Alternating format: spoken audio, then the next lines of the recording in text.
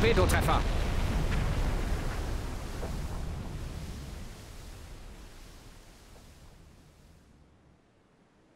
Torpedotreffer!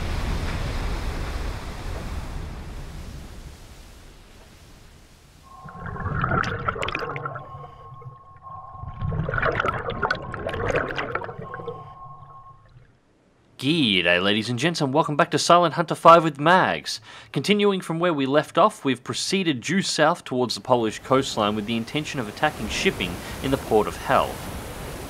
Hel, or Hela in German, is a small town port located at the end of the Hel Peninsula.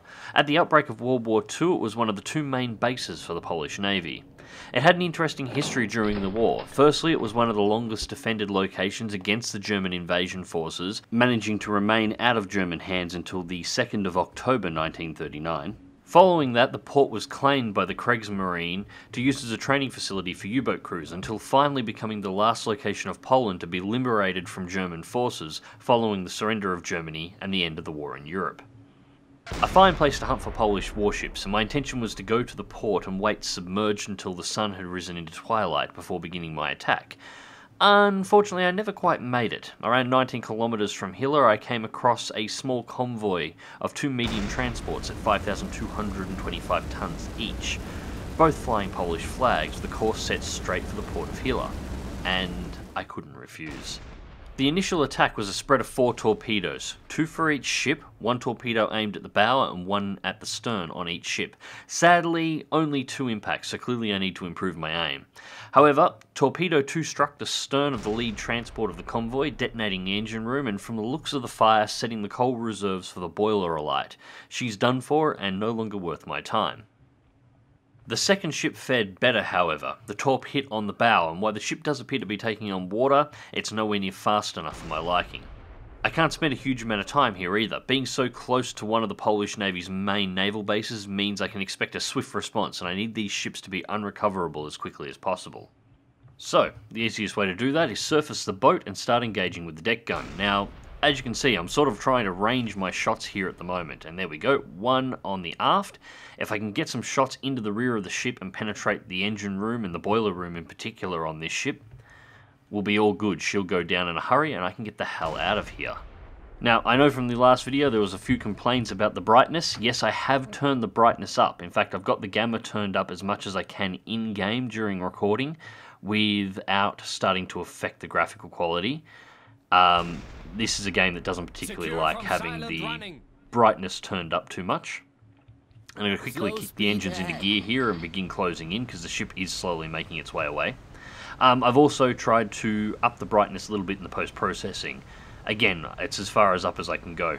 As I said in the comments of the last video, blame Hitler for starting the war during the night. And, well, more to the point, this is actually a really good example of what submarine combat is actually like at night time. You often don't have good vision. I do have starburst shells available that I could potentially use uh, to light the area. Basically, big flares that you fire out of the deck gun in order to light up ships. But being so close to the port of Hela, I don't particularly want to do that just yet most of the sighting that I was doing for the ships, because you can probably see better slightly than I could while I was playing the game, was actually looking for the wakes breaking on the bow and the stern. These gave me a rough idea on the length of the ship and the angle that it was on, and then aiming based on that information. The ship itself is almost indistinguishable from the horizon when I'm playing in game, although, as I said, with the uh, lighting adjustments here, believe it or not, you can probably see a little better than I could at the time.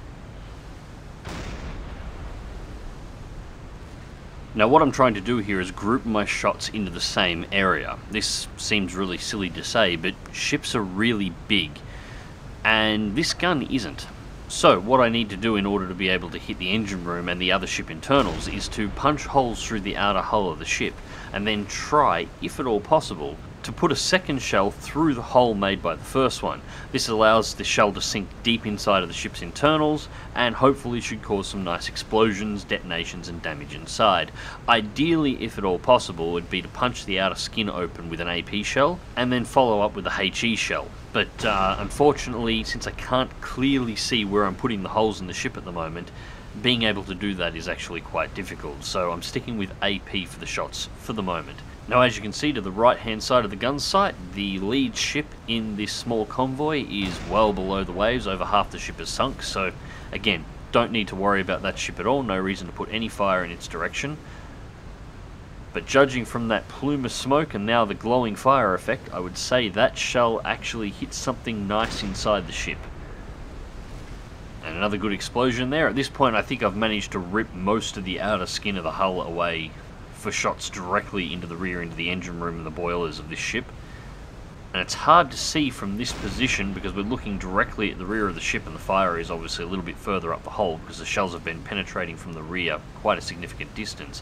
But it looks like the fire is coming in from exactly the same place that the fire was burning on the lead ship, which means we may have managed to hit the coal reserves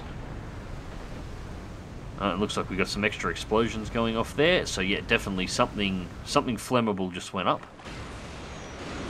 Explosions and the sound of twisted and screeching metal. Exactly the sounds a U-boat captain wants to hear. So as the lead ship in the convoy slowly begins to sink below the waves and into the depths below, and as the second ship in the convoy does its best impression of my U-boat during a crash dive, I think it's time to leave the area especially since the last ship, when that last explosion went off, also fired a red flare, which is a distress flare. I expect we have ships of the Polish Navy coming in this direction in a real hurry right now. So once again, we'll head back to the Conning Tower and have a little bit of a look around, make sure everything's all good, and then, as you can see, the red flare burning in the background just up in the sky, that's what's going to cause us a problem.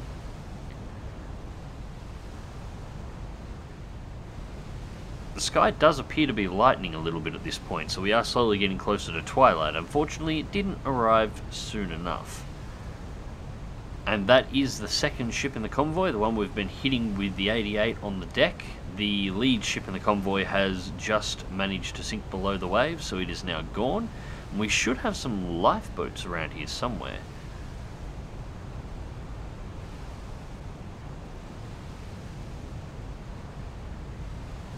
Yeah, she's only going to be on the surface for a couple more minutes. And yep, we've got some lifeboats over here. We've got quite a few of them actually, so it looks like most of the crews managed to bail out, which is fine.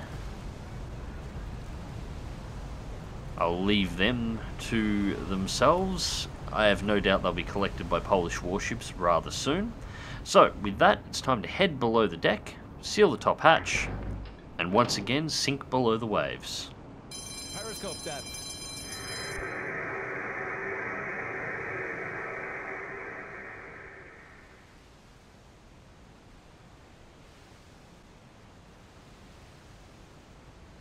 And once again showing the true strength and tenacity of a German U-boat crew, my deck gunner crew will never abandon their station, even as the submarine is submerging. They will just hold their breath until the next time we emerge to attack a new target. Damn it, Ubisoft, you had one job. So, having safely sunk beneath the waves, let's take a look around the internals of our submarine. Now, the internals in Silent Hunter 5 are actually fairly well modelled based on the Type 7 that you are supposed to be captaining. We'll start off in the bow of the ship in the torpedo room. As we can see, we have four torpedo tubes in the front. We only have one torpedo remaining, however. The other three are sealed up. We have no supplies. And for some reason, our crew appears to be polishing the torpedo or uh, rubbing it lovingly. I'm not entirely sure. Apparently they really like this torpedo. But there is animations in the torpedo room. As you can see, it's moving forward into the tube. We have one member slowly cranking it into position. Another one is working down on the rudder assembly for the torpedo itself. As the reload timer runs through, they will slowly push the torpedo all up until it's in the tubes and eventually seal the door. So, proceeding out of the torpedo room, we have the forward crew compartment. This is mainly housed with some officers and the uh, the main torpedo operators in the front of the ship. Not a lot of space inside of a U-boat, as you can see, and there is a toilet back there. It's one of two toilets on a Type 7, one at the bow and one at the stern. The mod seems to have added a few extra little details for authenticity inside. Uh, the rails are simply to keep you in bed while you're pitching around. We've got some really odd sounds in the background there. I think we're actually hearing the sound of one of the ships we just sunk splitting in half. Small sitting area with a small table to the right for the crew to take breakfast and coffees, and then we have the hydrophone room and the radio room. Both of these are operational. In fact, the hydrophone room you will be using a lot in Silent Hunter 5. When you can't get a visual detection on something, the hydrophone is the way to do it. It's actually really easy to operate. The dial in the bottom right hand corner is the volume. You basically max that and then you simply scroll the mouse wheel in order to change the bearing that you're listening to, with directly up being towards the front of the ship, and you rotate it left and right in order to listen around, keeping in mind that the noise from the main drive shafts at the rear of the submarine will distort sound directly behind. The radio operates mostly automatically, but you can come in here and if you have the right parts of the mod activated, manually decode messages should you choose to do so. Looks like we've got another piece of little detail up there. I don't recall that being in the game stock, so that should be a mod edition. I think. Now there are a couple of types of hydrophone available in game. At the moment we've got the default standard one, which is fitted to the underside of the hull. I'll go into these in more detail in the future. So sealing the hatch, we have the control room, and this is where we operate most of the submarine from. These three gentlemen to the left actually guide the ship. Two are operating the engines and the rudder controls while the third is operating the dive planes, adjusting the angle of attack to the submarine and maintaining depth and you know keeping us on the surface. Over to our right we have our maps. Uh, we can just click on these and it will load up our tactical and navigation map so we can find our way around. Obviously we have the ladder that leads up to the conning tower and the attack periscope. We also have the observation periscope down here just to our left. A little bit more fluff down here, some extra maps. There's nothing here you can really activate. Uh, the main shaft running through the center is actually where the periscopes are housed internally. And then we have our rear hatch leading down towards the engine room. Now we have a second crew compartment in here. Again, it's pretty basic as you would expect. This is mainly where the engineering crew for the submarine would sleep, although beds are fairly flexible in a submarine. Outside of the captain's personal bed, you slept wherever was available. So directly behind that we have the kitchen and the cook. Now this is actually rather important in Silent Hunter 5 as morale of the crew is a factor and having a well-trained chef provides some good meals obviously keeps that up. Very important in real life too. And then we have the main diesel engines which are currently shut down because we're submerged and operating on electrical only. And heading down to the rear of submarine we will have the main electrical engines and the main drive shafts at the rear. What I think we're going to actually do is surface the boat and see, because those diesel engines are actually animated.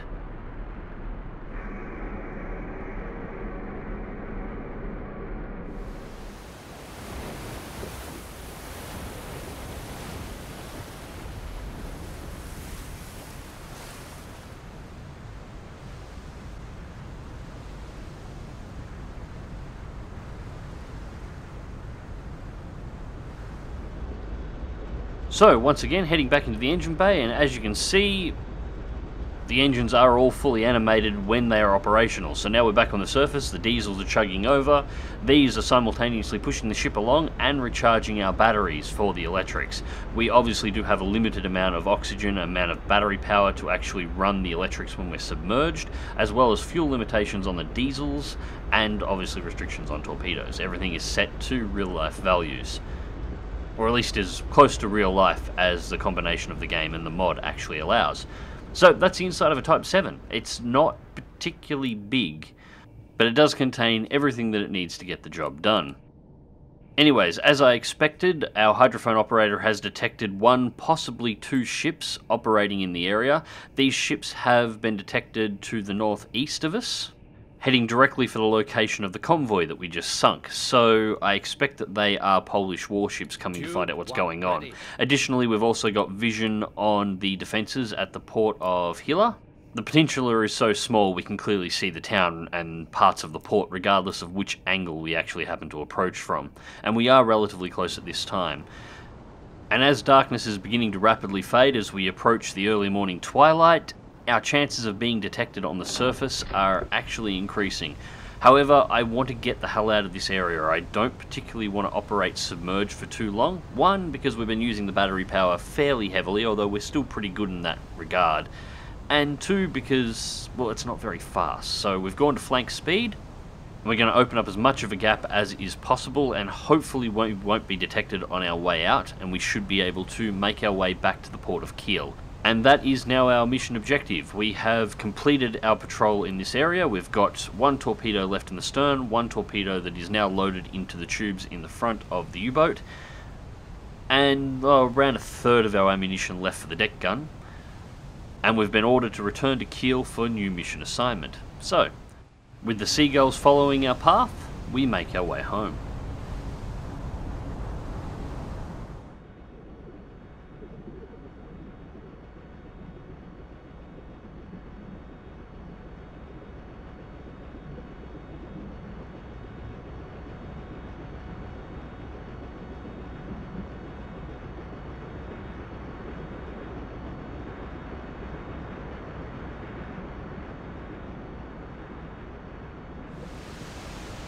So having invaded the Polish navy, we settled in for what should have been a smooth and clean return home, safe within German waters. However, about halfway back, the next day, just before lunchtime, we came across a fresh target. A single Polish merchant ship heading directly for the German coast, on its own. Now while I didn't take the time to identify this particular vessel, it did appear to be a slightly smaller size than the ships we sunk the morning before. And by this point, all captains within the Polish merchant navy should be fully aware that they are now at war with Germany. So what it was doing in German waters, I have absolutely no idea. However, there being a smaller class, and so deep in such a safe location and apparently unarmed, I figured there was no need to try and approach this one with stealth in mind, instead deeming to rush directly at the vessel at flank speed and engage it with the deck gun.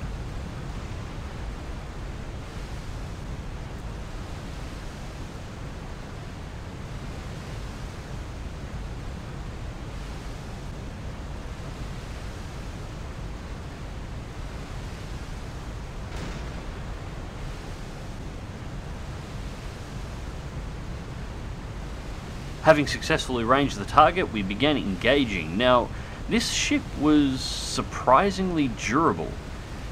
Despite the vast majority of my shots actually managing to land home, the ship itself took almost 30 AP rounds and 20 additional HE rounds to finally cause significant enough damage to guarantee that the ship would actually sink, despite a large number of these shells causing massive explosions and fires. Although having said that, this particular ship seemed to have a lot of its cargo strapped to the deck, so I suspect a lot of the explosions that I was actually seeing were simply the cargo on deck detonating after direct impacts.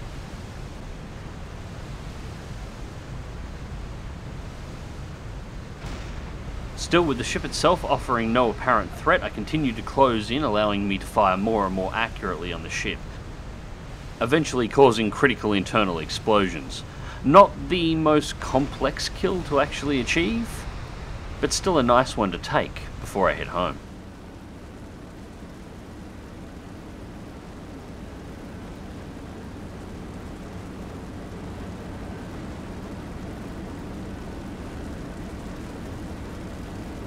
With the ship showing clear critical damage towards the rear, fires burning fore and aft and the stern slowly sinking deeper into the water, I decided not to wait around for this one to actually go under. With the ship being so deep inside of German waters, there was virtually no chance of rescue or recovery. And so, the rest of the voyage was rather uneventful, finally making our way back to Port Kiel in Germany on the 3rd of September 1939, arriving in the harbour mouth at just after midday. So, with our first patrol complete, we come in with five merchant ships in total, no warships unfortunately, with a total tonnage of 26,160 tonnes. And with that, I leave you all with my promotion. Hope you enjoyed the video, thank you very much for watching. Remember to click that like button and to subscribe if you want to see more and you haven't already, and until next time, run silent and run deep. Welcome, gentlemen, and congratulations on a successful patrol. I say the war is off to a good start. Yes? Well, it certainly is for you, Captain. I have direct orders from the BDU to assign you to U-122. But what about my boat and my crew? They will receive a new captain. Herr Leutnant, you are hereby promoted to captain of U-27, and are to take command immediately. A second in command has already been assigned to you. He will be waiting for you by the boat. Now, please, gentlemen, if you will excuse me, come back later for your mission briefings. I have an urgent call with Naval High Command. So, Captain, war changes everything, doesn't it? Let this be my last piece of advice to you. Never let it change you. We are soldiers. We fight, we destroy, we even kill. But we do it with honor and respect for our enemy. Never forget that. Be good to my crew. They were the best I ever had.